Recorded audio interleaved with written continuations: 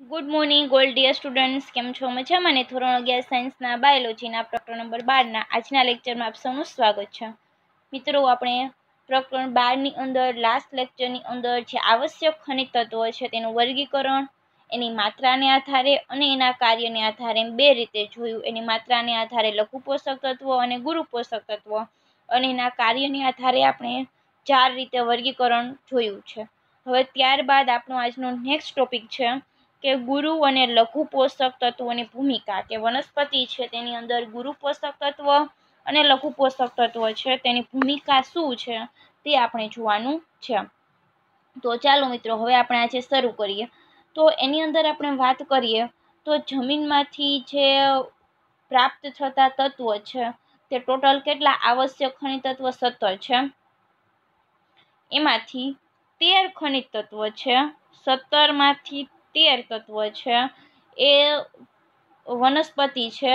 જમીનમાંથી પ્રાપ્ત થતા જે ખનિજ પોષક તત્વો છે, એમાં તેર તત્વો પાણીમાં દ્રાવ્ય થયેલા છે અને આ તેર તત્વો છે તે વનસ્પતિના મૂળ દ્વારા તેનું શોષણ થાય છે. અને વનસ્પતિ છે, એની તંદુરસ્ત વૃદ્ધિ માટે જમીનની અંદર જે કોઈ પણ ખનિજ તત્વ છે, તેનું પ્રમાણ આપણને મળતું રહેવું જોઈએ. તો એના કારણે આપણે જોઈએ તો જો યોગ્ય પ્રમાણમાં ખનિજ તત્વ નહીં મળે તો ખેડૂતો શું કરે છે કે એને ખાતર તરીકે બહારથી આપે છે. શા માટે આપણે ખાતર નાખીએ છીએ? કારણ કે પોષક તત્વ જમીનની અંદર નથી એટલા માટે.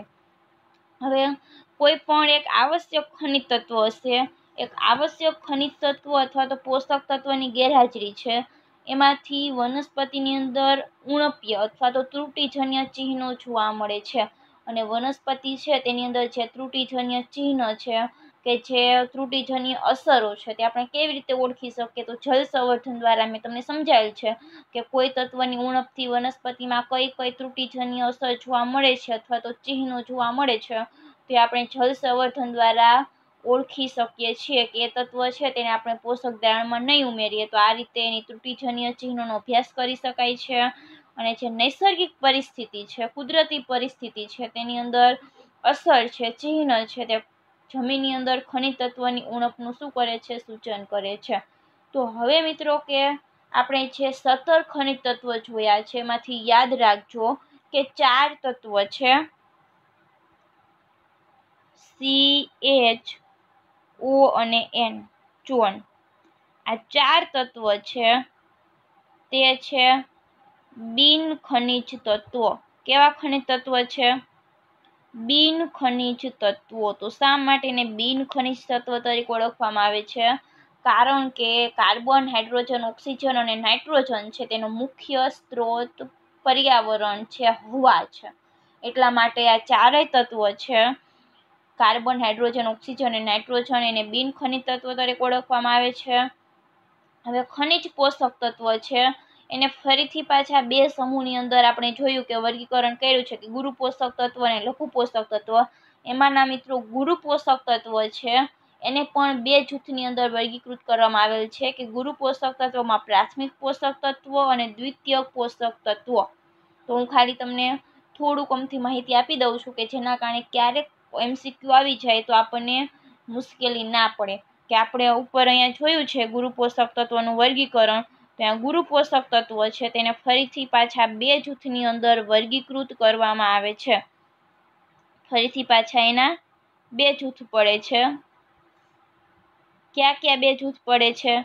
એક જૂથ પડે છે પ્રાથમિક પોષક તત્વ. અને એનું બીજું જૂથ પડે છે દ્વિતીયક પોષક તત્વો. બીજું પડે છે દ્વિતીયક પોષક તત્વો. તો આ પ્રાથમિક પોષક તત્વો અને દ્વિતીય પોષક તત્વો એટલે શું? તો મિત્રો પ્રાથમિક પોષક તત્વો છે, એની અંદર આવશે નાઇટ્રોજન, ફોસ્ફરસ અને પોટેશિયમ. તો આ પ્રાથમિક પોષક તત્વની અંદર આવશે એન પી કે. નાઇટ્રોજન, ફોસ્ફરસ અને પોટેશિયમ પ્રાથમિક પોષક તત્વ છે અને આ પોષક તત્વ છે, એ જમીનની અંદર પૂરતા પ્રમાણમાં હંમેશા જોવા મળતા નથી, પૂરતા પ્રમાણમાં હોતા નથી. એટલા માટે વનસ્પતિ છે તેના વૃદ્ધિ માટે ખાતરની જરૂરિયાત રહે છે. અને વનસ્પતિઓની અંદર મહત્વના પોષક તત્વો છે, તેની વૃદ્ધિ અને જીવન ટકાવી રાખવા માટે વધુ પ્રમાણમાં ઉપયોગ કરે છે. તો શા માટે જમીનમાં પૂરતા પ્રમાણમાં નહીં હોય? કારણ કે આપણે કારણ જાણી શકીએ કે વનસ્પતિની જરૂરિયાત વધારે છે.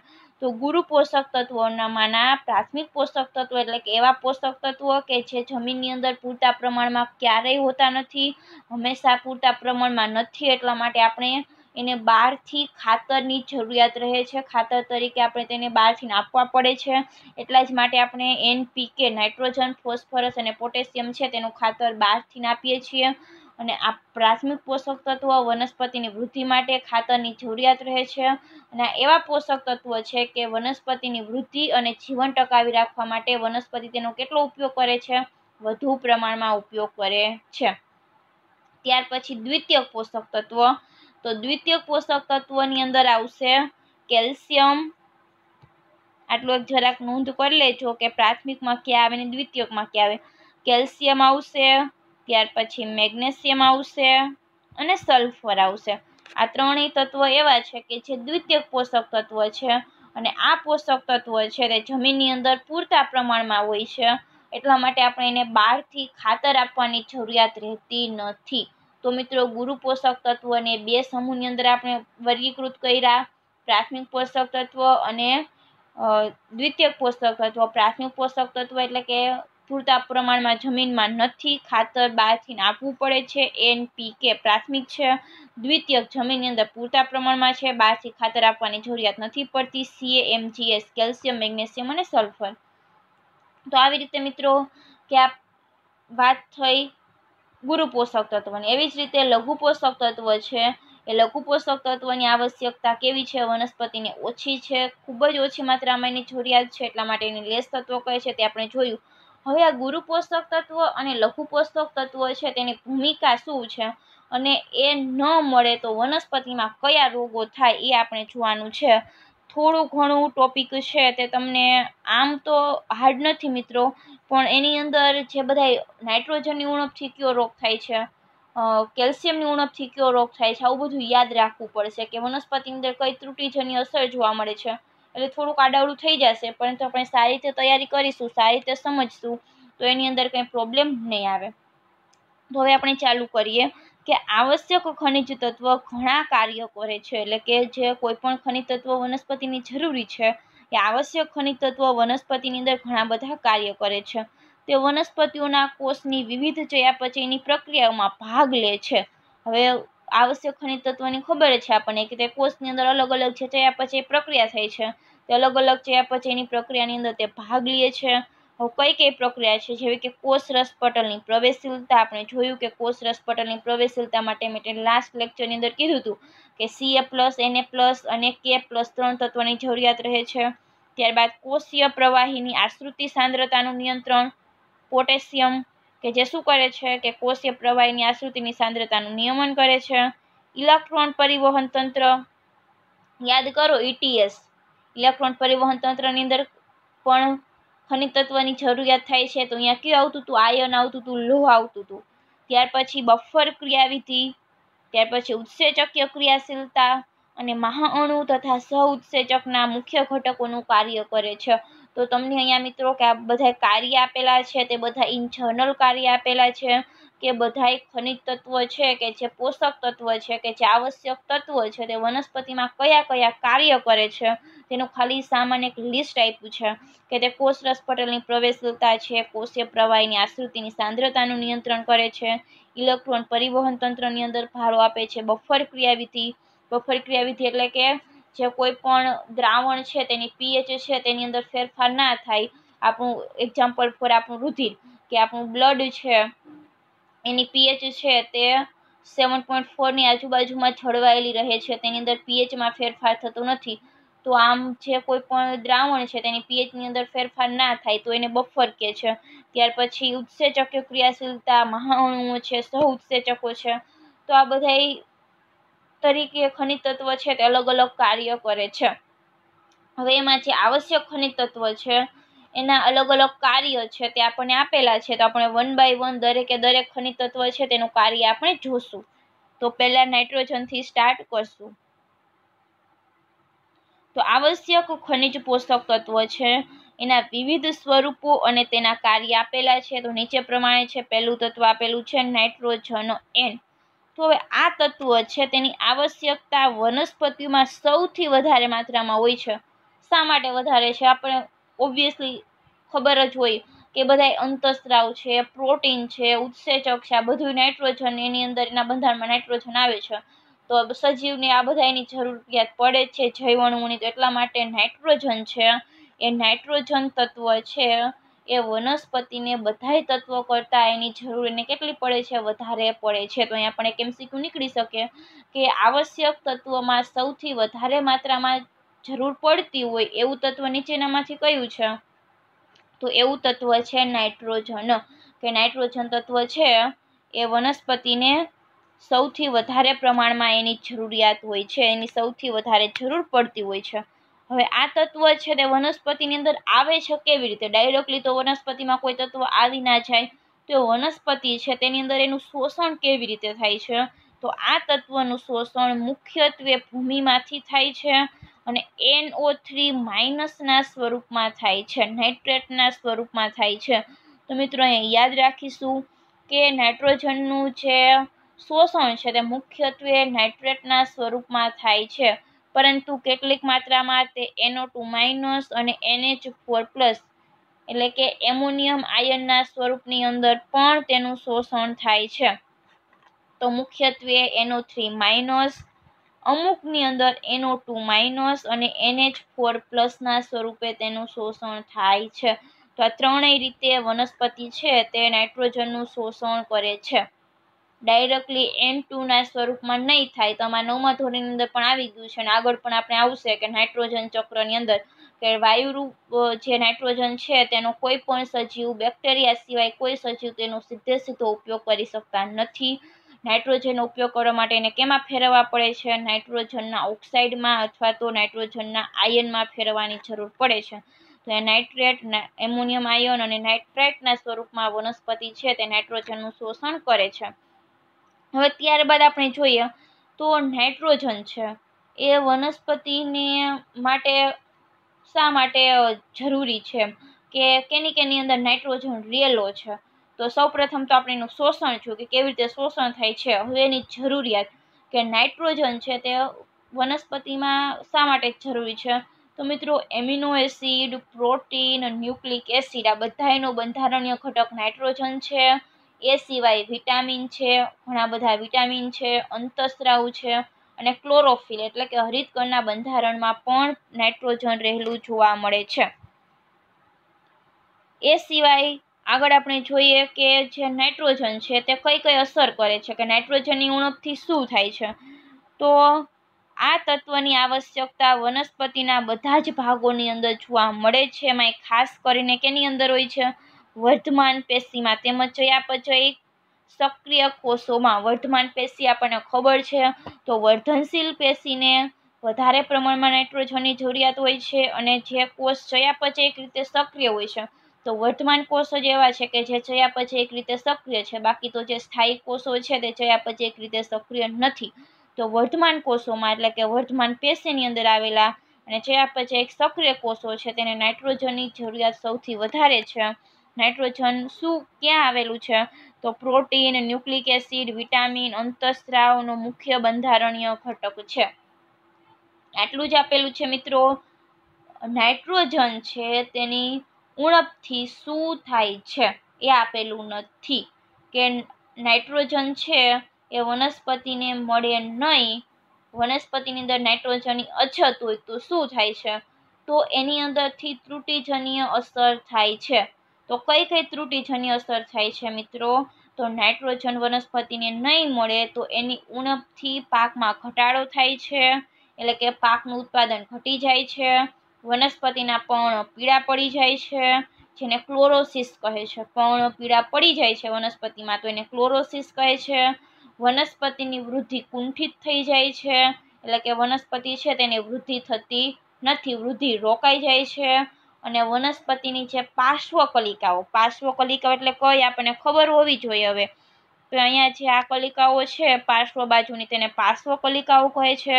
આ પાર્શ્વ કલિકાઓ સુસુપ્ત પામે છે, એટલે કે તે નિષ્ક્રિય થઈ જાય છે.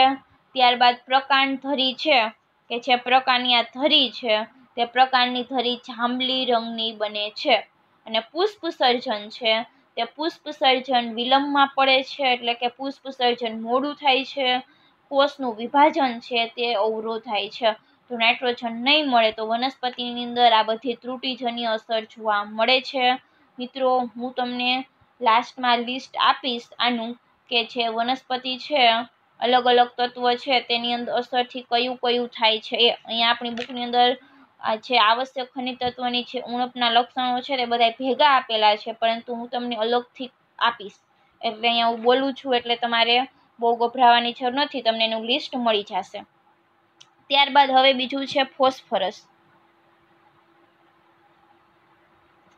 તો સેકન્ડ તત્વ આવે છે ફોસ્ફરસ.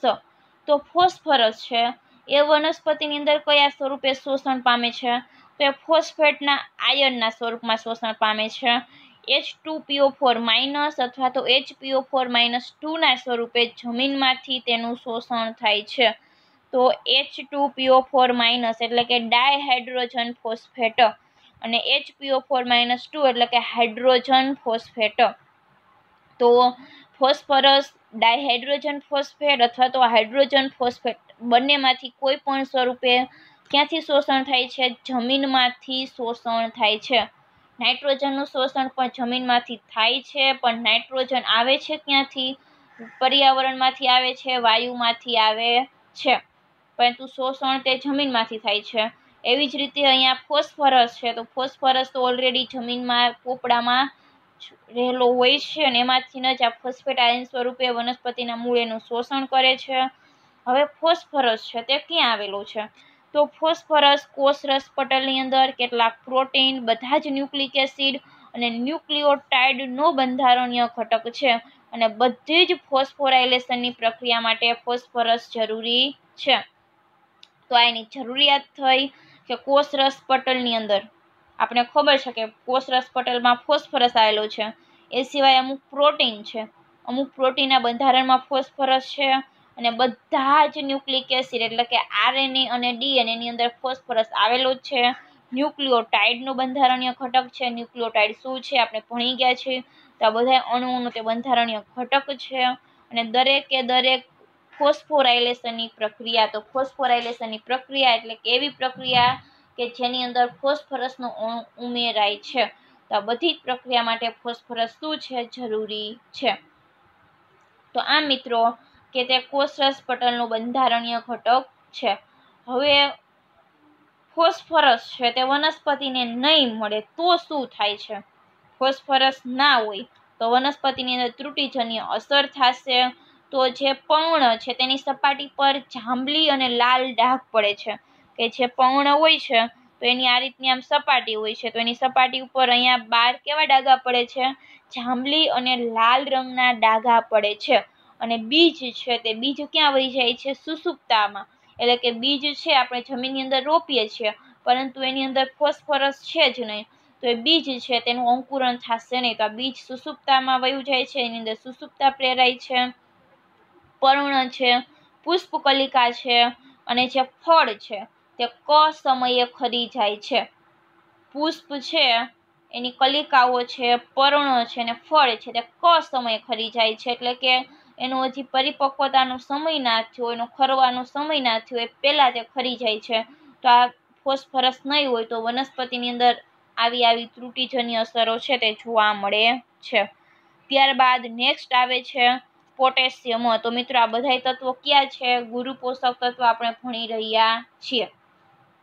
તો પોટેશિયમ છે. તો પોટેશિયમ છે. તો વનસ્પતિ છે.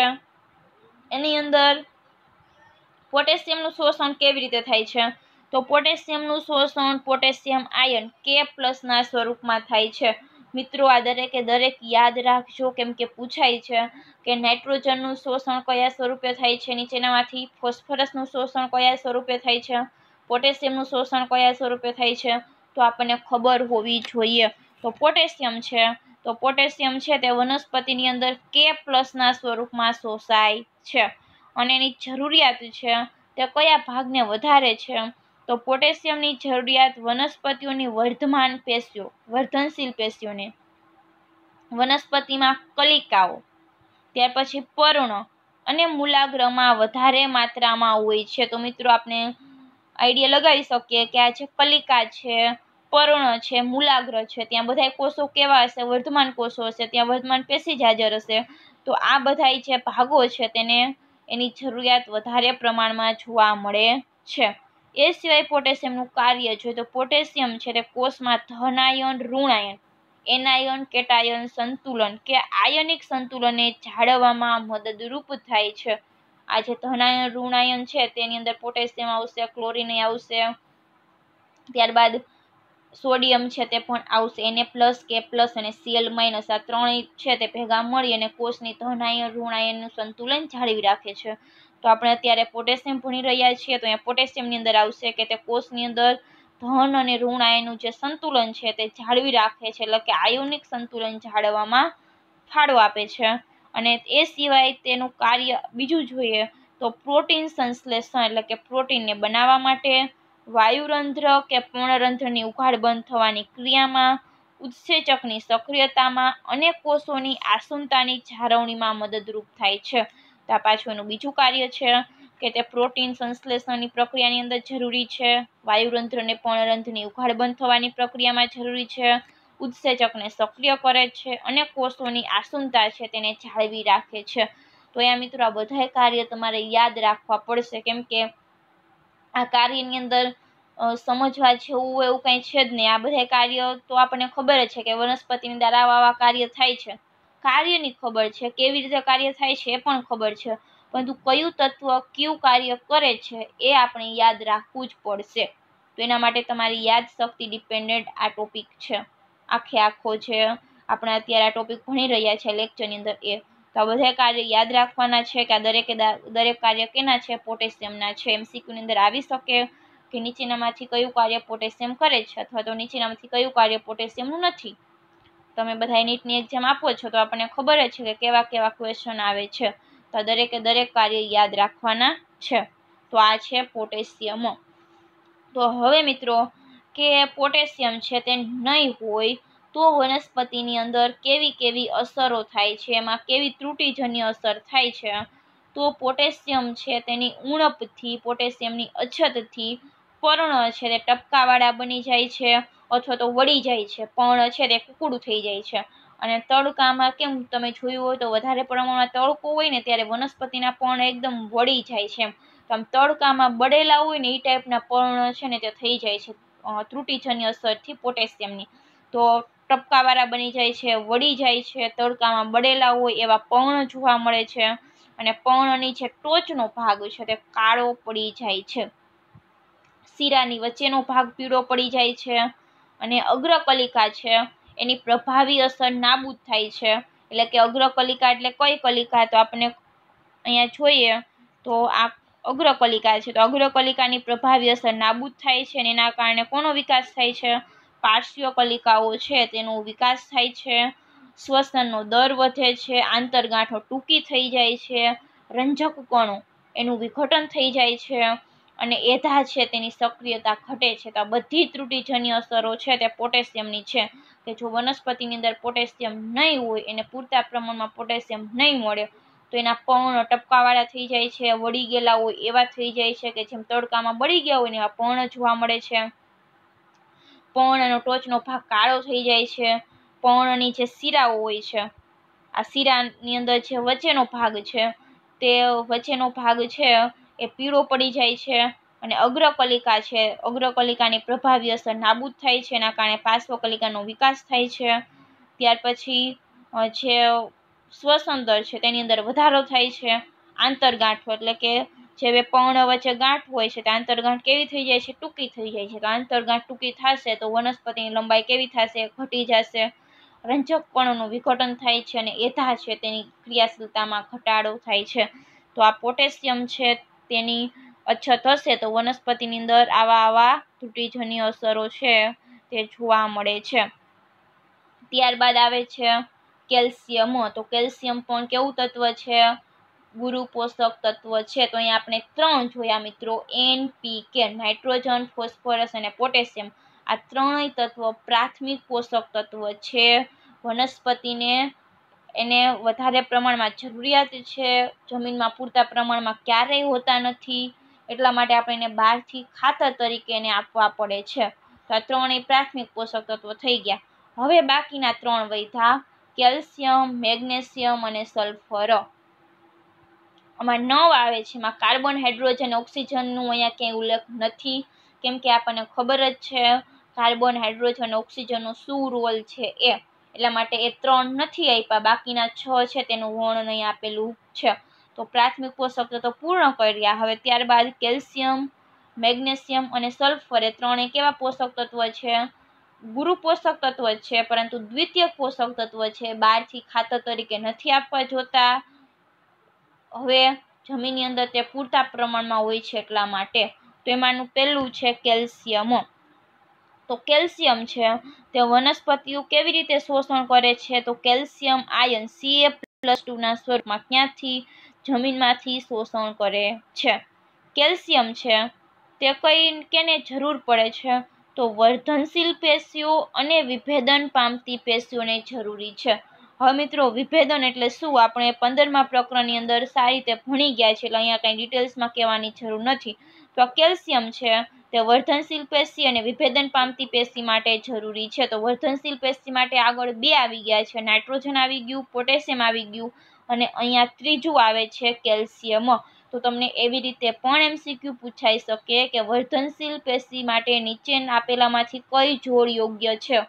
તો નાઇટ્રોજન પોટેશિયમ અને કેલ્શિયમ ત્રણ. હજી આગળ આવે તો આપણે જોશું પણ તો અત્યારે સુધીમાં આપણે ભણ્યા એમાં ત્રણ તત્વો આવી ગયેલા છે. વર્ધન પેશી માટે તો આ રીતે જોડકા સ્વરૂપે પણ એમસીક્યુ આવી શકે. અને વિભેદન પામતી પેશી માટે કોણ જરૂરી છે? કેલ્શિયમ જરૂરી છે. તો યાદ કરો, આઠમું પ્રકરણ કે જેની અંદર મધ્ય પટલ છે તે કેલ્શિયમ પેક્ટેટનું બનેલું છે. તો મધ્ય પટલ એટલે શું? તો વનસ્પતિના બે કોષ દિવાલની વચ્ચે આવેલું પટલ. કેવી રીતે નિર્માણ પામે છે તે આપણે દસમા પ્રકરણની અંદર પણ જ્યારે કોષનું વિભાજન કેવી રીતે થાય છે ત્યારે મેં સમજાયેલું છે. તો મધ્ય પટલ એક કેલ્શિયમ પેક્ટેટનું બનેલું છે. તેમાં કેલ્શિયમ આવેલું છે અને તે મધ્ય પટલ ક્યારે નિર્માણ પામે છે કે વિભેદન દરમિયાન નિર્માણ પામે છે. કોષ વિભાજન દરમિયાન કોષ દિવાલના સંશ્લેષણમાં ઉપયોગી છે. એટલે કે જ્યારે કોષનું વિભાજન થાય છે, ત્યારે કોષ દિવાલના સંશ્લેષણમાં કોણ જરૂરી છે? કેલ્શિયમ જરૂરી છે. ખાસ કરીને મધ્ય છે તે કેનું બનેલું છે? કેલ્શિયમ પેક્ટેટ તરીકે. તેમજ સમસૂત્રિત રાકના નિર્માણ દરમિયાન પણ જરૂરી છે. જો મિત્રો કે આપણે ભણી ગયા છીએ કે પ્રાણી કોષ છે તેની અંદર તારા કેન્દ્ર છે. તે શું કરે છે? કે દ્વિધ્રુવીય ત્રાકનું નિર્માણ કરે છે. પરંતુ વનસ્પતિ કોષમાં તારા કેન્દ્ર ગેરહાજર છે. તો આ દ્વિધ્રુવીય ત્રાક એટલે કે સમસૂત્રિક ત્રાક છે, તેનું નિર્માણ ક્યાંથી થાય છે? તેનું નિર્માણ છે તે કેલ્શિયમ પેક્ટેડ છે તે કરે છે અને મધ્ય પટલ દ્વારા. તો અહીંયા પણ આપણે યાદ રાખીશું અને આ બહુ આઈએમપી છે. મિત્રો, જરાક વધારે પ્રમાણમાં અંડરલાઇન કરી લેજો. હવે જૂના પર્ણની અંદર શું થાય છે? કેલ્શિયમનો સંગ્રહ થાય છે. એટલે કે જે પર્ણ વૃદ્ધ થઈ ગયા છે તે પર્ણની અંદર કેલ્શિયમનો સંગ્રહ થાય છે. અને કોષ રસ પટલની સામાન્ય ક્રિયાઓ સાથે પણ શું છે? તે સંકળાયેલા છે કે જે કોષ રસ પટલની કોઈ પણ સામાન્ય પ્રક્રિયાઓ થાય છે, તેની સાથે કેલ્શિયમ સંકળાયેલું છે. કેટલાક ઉત્સેચકને સક્રિય કરે છે અને ચયાપચય પ્રક્રિયાઓ છે, તેના નિયમનની અંદર પણ તે ફાળો આપે છે.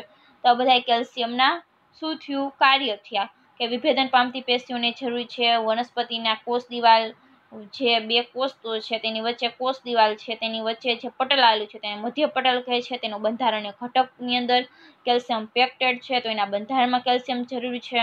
કોષ વિભાજન દરમિયાન જે દ્વિધ્રુવીય ત્રાકનું નિર્માણ થાય છે, એની સાથે પણ કેલ્શિયમ સંકળાયેલું છે. અને કોષનું ચયાપચય છે, તેના નિયમનમાં પણ તે શું કરે છે, ભાગ ભજવે છે અને અમુક ઉત્સેચકો છે, તેની સક્રિય કરે છે. તેની ક્રિયાશીલતા માટે પણ તે જરૂરી છે. હવે જો વનસ્પતિ છે તેને કેલ્શિયમ નહીં મળે તો શું થશે? તો એનાથી વનસ્પતિમાં કેવી ત્રુટિજન્ય અસર થાય છે? તો વનસ્પતિ છે એની કેલ્શિયમની ઉણપ હશે તો નવો વિકાસ પામતી શાખાઓ છે, પુષ્પ છે, મૂળ છે, તેની વૃદ્ધિ કેવી થઈ જાય છે? કુંઠિત થઈ જાય છે. એટલે કે કેલ્શિયમ છે તે નહીં મળે તો વનસ્પતિ છે તેની નવી શાખાઓ છે, પુષ્પ છે અને મૂળની વૃદ્ધિ રોકાઈ જાય છે.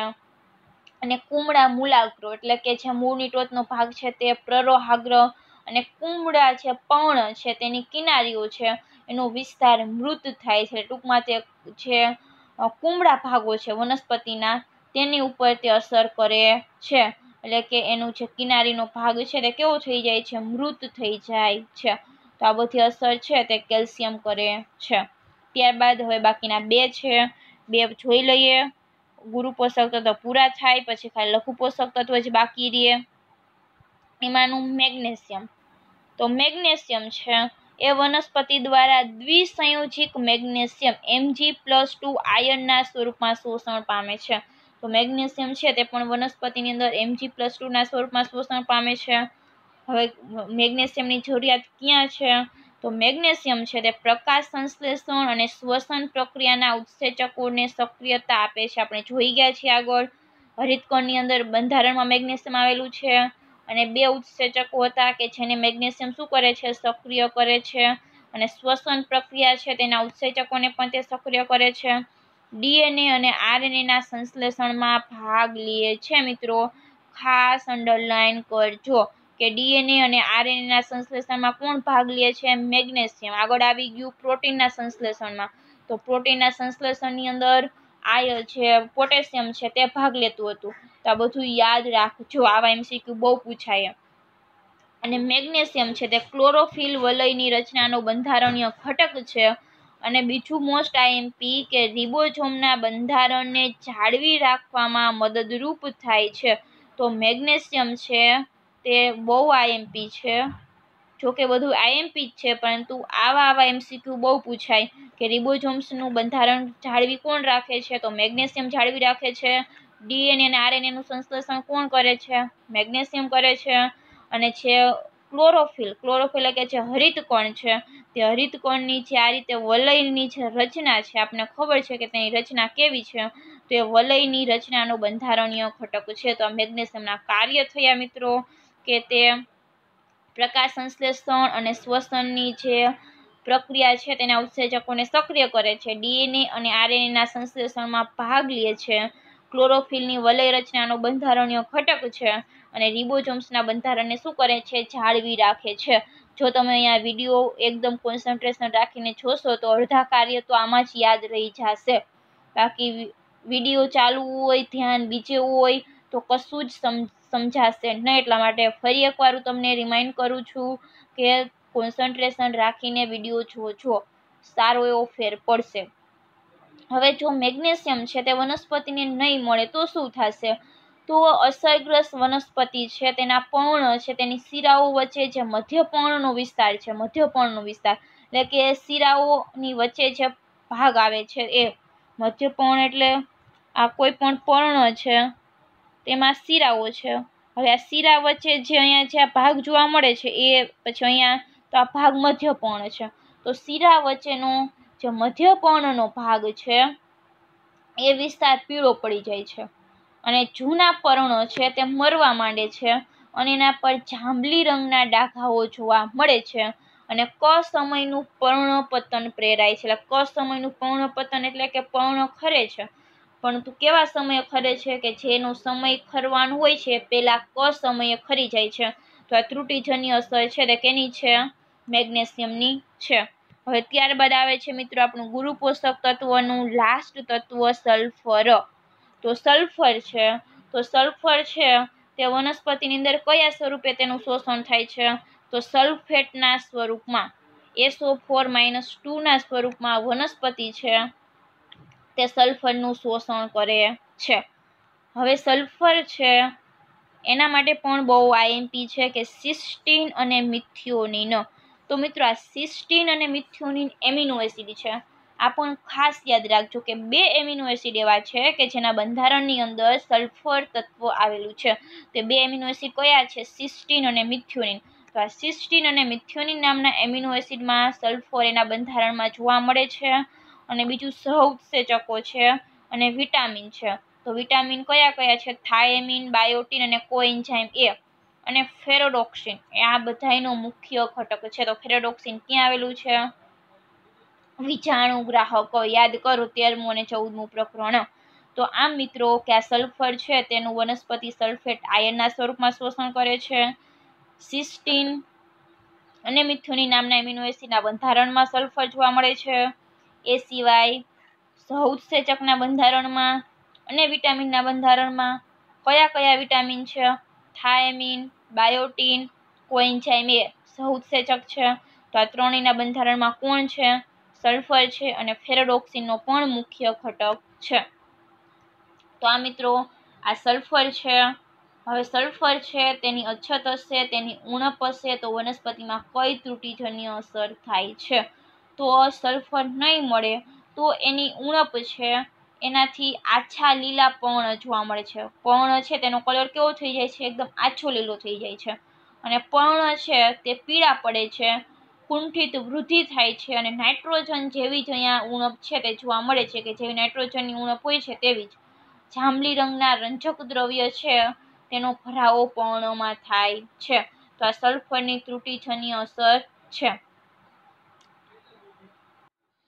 અહીંયા મિત્રો કે પોષક તત્વ છે, એનું જે સ્ત્રોત છે એ કયો છે અને કેવી રીતે એનું જે શોષણ થાય છે તે કોષ્ટકમાં દર્શાવેલું છે કે બિન ખનિજ તત્વ, કાર્બન ઓક્સિજન, હાઇડ્રોજન અને નાઇટ્રોજન આ કેમાંથી મળે છે? તો વાતાવરણમાંથી મળે છે. એમાંથી જુઓ, કાર્બન વાતાવરણમાંથી મળે છે, ઓક્સિજન એ વાતાવરણમાંથી મળે છે, હાઇડ્રોજન અને નાઇટ્રોજન કેમાંથી મળે છે? ભૂમિમાંથી મળે છે. હાઇડ્રોજન એચ ટુમાંથી નાઇટ્રોજન છે, તે પણ ભૂમિમાં કેવી રીતે પ્રવેશે છે, આપણે નાઇટ્રોજન ચક્ર જોશું ત્યારે આવશે. તો કાર્બન છે, તે વનસ્પતિની અંદર કયા સ્વરૂપે શોષાય છે? સીઓ ટુ સ્વરૂપે. ઓક્સિજન છે, તે ઓટુ સ્વરૂપે. અને હાઇડ્રોજન છે, તે એચ ટુઓ સ્વરૂપે. આ તો આપણને ખબર જ છે. અને નાઇટ્રોજનનું આપણે જોયું. NH four plus NO two minus અને એનો થ્રી માઇનસના સ્વરૂપે તેનું શોષણ થાય છે. તો આ ચારેય તત્વો છે, તેના કાર્ય શું છે? તો દરેક જે કાર્બનિક અણુઓ છે તેના બંધારણની અંદર અને મોટાભાગના કાર્બનિક અણુઓ છે તેમાં મોટાભાગના કાર્બનિક અણુની અંદર પ્રોટીન, ન્યુક્લિક એસિડ આ બધાની અંદર આ તત્વ છે તે જોવા મળે છે. ત્યાર પછી ફોસ્ફરસ છે. તો H two PO four minus અને એચ પીઓ ફોર માઇનસ સ્વરૂપમાં એનું શોષણ થાય છે કાર્ય શું? તો ન્યુક્લિક એસિડ એટીપી ફોસ્ફોલિપિડ આ બધાની અંદર એનું કાર્ય છે. આપણે જોયા છે પણ એ કોષ્ટક સ્વરૂપે છે. પોટેશિયમ છે. તો કે પ્લસ ઉત્સેચકની સક્રિયતા, જલ સંતુલન, આયન સંતુલન, સ્ક્રીનશોટ પાડી શકો છો આનો. ત્યારબાદ સલ્ફર છે. તો સલ્ફર જમીનમાંથી શોષણ થાય છે. એસો ફોર માઇનસ ટુના સ્વરૂપે કાર્ય શું છે? સૌસેચકના બંધારણમાં, આયન સંતુલનમાં. ત્યારબાદ કેલ્શિયમ સીએ પ્લસ ટુ કોષરસ્ય કંકાલ પર અસર કરે છે. પટલો અને ઘણા ઉત્સેચકોની અંદર તે દ્વિતીય વાહક તરીકે કાર્ય કરે છે. અને મેગ્નેશિયમ ભૂમિમાંથી એમજી પ્લસ ટુ સ્વરૂપે શોષણ થાય છે. ક્લોરોફિલ અને ઘણા ઉત્સેચકના બંધારણની અંદર રિબોઝોમ્સને છે તેને કેવું બનાવે છે? સ્થાયી બનાવે છે. અહીંયા તમને પ્રમાણ આપેલું છે. પ્રમાણ બહુ યાદ રાખવાની જરૂર નથી. એના કાર્ય કયા સ્વરૂપે શોષણ થાય છે અને ક્યાંથી શોષણ થાય છે એ યાદ રાખવાનું છે ખાલી. હવે મિત્રો કે છે લઘુ પોષક તત્વ છે, એનું રોલ શું છે તે આપણે નેક્સ્ટ લેક્ચરની અંદર જોશું. આજે આપણે અહીંયા સુધીનું રાખીએ મિત્રો. અને જે અહીંયા ત્રુટિજન્ય અસર છે, હું તમને કાલે જે લાસ્ટ આના પછીનું જે લેક્ચર લઈશ એની અંદર બંને તત્વ છે, તેની જે ત્રુટિજન્ય અસરથી કયા કયા રોગ થાય છે, હું જે બોલું છું, એ તમને આના પછીના લેક્ચરમાં સાથે આપી દઈશ. તો ઓકે મિત્રો, આજે અહીંયા સુધીનું રાખીએ છીએ. સારી એવી તૈયારી માટે all the best thank you so much have a nice day